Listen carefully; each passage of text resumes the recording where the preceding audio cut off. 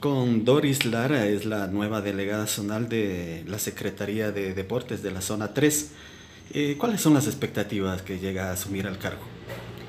Eh, bueno, eh, un cordial saludo de lo que es la Secretaría del Deporte, Coordinación Zonal 3.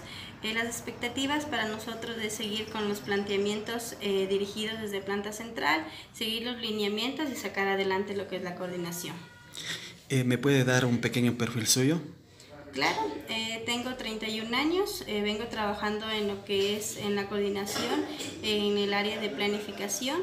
Eh, llevo lo que es, llevaba lo que es el tema de los organismos, se conoció a fondo lo que es el tema de presupuesto, los beneficios que tiene cada organismo, pues se ha venido trabajando así consecutivamente y conociendo de lo que es la coordinación.